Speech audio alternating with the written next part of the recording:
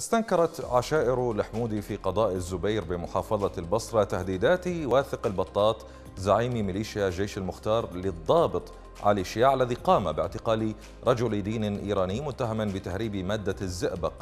وحملت العشيرة البطاط والحكومة مسؤولية أي شيء يتعرض له الضابط وعائلته. فنشاهد. بيان لعشائر الحمودي بني مالك في البصرة.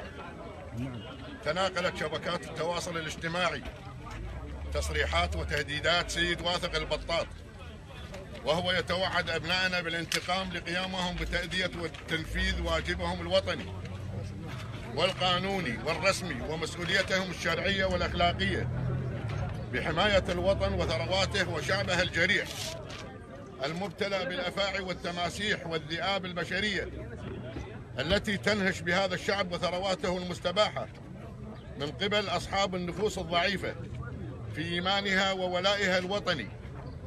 ولأجل هذا كله نطالب عشائر السادة البطاط في العراق كافة اتجاه موقفها من المدعو السيد واثق البطاط في قضية الرائد علي شياع سعيد. القانونية والقضائية والعشائرية في حال تعرض أي من أبناء عمومتنا للأذى والاستهداف كذلك نطالب الحكومة المركزية والمحلية لاتخاذ إجراءاته الفورية لردع كل من تسول له نفسه للدفاع عن المجرمين والخارجين عن القانون.